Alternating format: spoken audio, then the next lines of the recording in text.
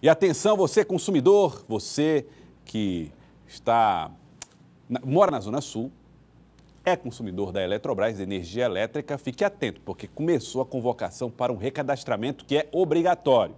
Nós vamos falar então com a Eletrobras. Nós vamos falar com o Tiago Melo. Ele tem os detalhes e fala com a gente a partir de agora a respeito desse recadastramento dos consumidores.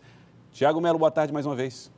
Boa tarde, Joelson, e a todos que nos assistem. 1 milhão e 300 mil unidades habitacionais, unidades consumidoras, devem ser visitadas por esse pessoal da Eletrobras. São cerca de 90 pessoas envolvidas no cadastramento em todo o Piauí. O trabalho aqui em Teresina começou pela Zona Leste, região da Pissarreira, trabalho iniciado no início de setembro e agora segue para a Zona Sul, como você falou, região do bairro Bela Vista. Cerca de 8 mil unidades já foram visitadas em todo o estado, mas a Eletrobras está encontrando, encontrando perdão, dificuldades em relação a algumas unidades consumidoras. A gente passa a conversar com o Adaildo Andrade, gerente de cadastro da Eletrobras. Que dificuldade é essa, Adaildo? Boa tarde. Tá, boa tarde.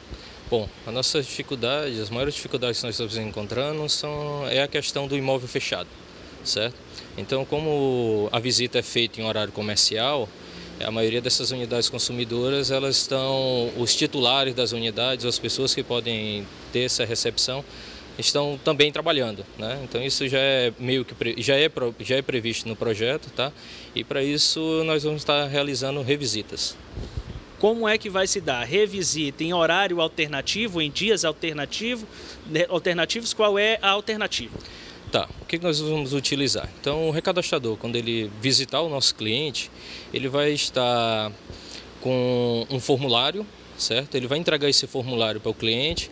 Lá o cliente poderá estar preenchendo as informações que são solicitadas, tá? E com base nessas, nessas informações, ele pode ir até uma agência entregar o formulário devidamente preenchido, né? Acompanhado de documentação comprobatória ou está ligando, né? a gente vai estar fornecendo o número no próprio formulário, para ele entrar em contato com, com, a, com a distribuidora, agendando um horário para que a gente possa fazer essa visita. Que tipo de informações? Tá. O projeto de recadastramento ele consiste em uma atualização cadastral dos clientes da distribuidora. Né? Então, o recadastrador, quando ele chegar nessas unidades consumidoras, ele vai estar tá confirmando dados, o nome do titular, numeração do medidor, as condições do padrão, certo? Mais uma visita é, mais que administrativa. Então, ele vai estar tá solicitando o nome do cliente, CPF, RG, tá? E atualização de logadouro. Então, é nomes, no nome da rua, CEP.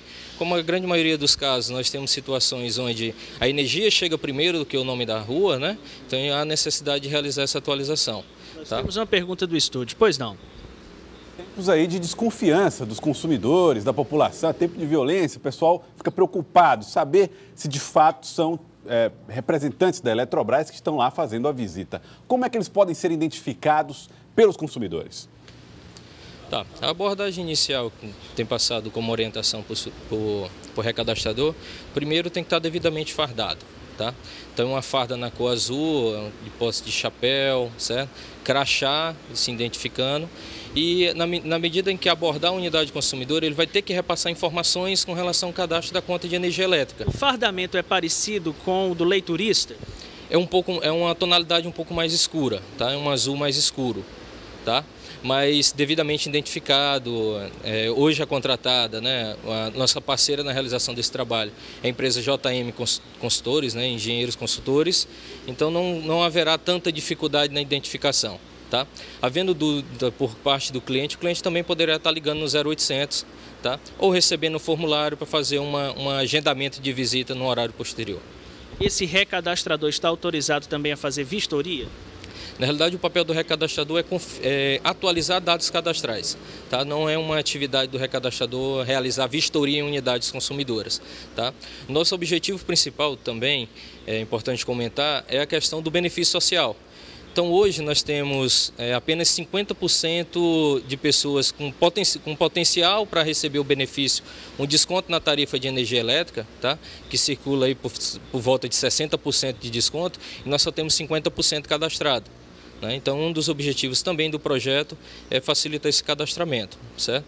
Outra coisa que é importante na questão da operação e manutenção, isso vai permitir ao consumidor uma melhor eficiência no atendimento. Tá? Então, como isso tudo vai ser georreferenciado, a gente poderá estar passando para as equipes de campo as informações de localização, então isso vai facilitar o atendimento. Falta de energia, algum tipo de reclamação, a gente tende a melhorar os serviços técnicos comerciais. Nós conversamos com Adaildo Andrade, gerente de cadastro da Eletrobras. Muito obrigado pelas informações que nos trouxe. Joelson.